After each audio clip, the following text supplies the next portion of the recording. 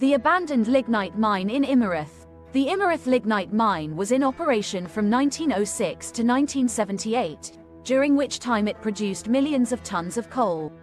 After it was closed, the mine was allowed to flood naturally with groundwater. After the mine was closed, the town of Immerath was also abandoned due to the expansion of the nearby Garzweiler open pit mine. The remaining residents were relocated to a new town nearby, also called Immerath. The abandoned mine is now completely flooded and has become a popular destination for scuba divers due to the unique underwater landscape and the abundance of fish and other aquatic life that have made it their home.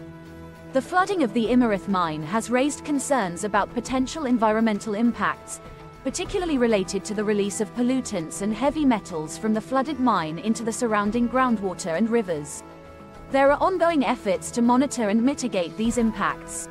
The flooded mine has also become a popular tourist attraction, drawing visitors from around the world who come to dive or simply explore the underwater landscape from the surface.